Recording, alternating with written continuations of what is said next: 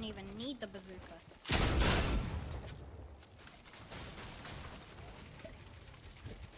Imagine if I launch him out of zone.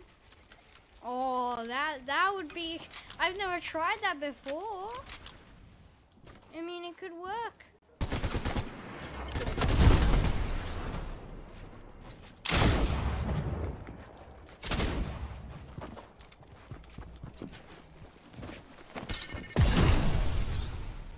Oh my god!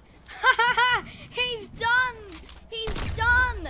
Oh my god, I actually shockwaves him into still for the win!